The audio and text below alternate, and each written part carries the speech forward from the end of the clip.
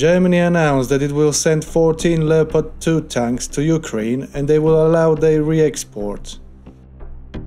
Early this morning, Ukraine's Special Operation Forces conducted a small bold raid across the Dnipro River, targeting a Russian forward command post located at the riverside resort. The Russians denied that Ukrainian soldiers destroyed any command post, claiming that the soldiers came under fire from MLRS and returned to their side with casualties.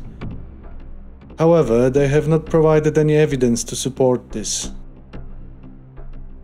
Ukrainian forces has withdrawn from Soledar. This was reported by a representative of Eastern Group of the Ukrainian Army Forces, Sergei Cherevati. If you want more news updates, hit the like button and subscribe to my channel.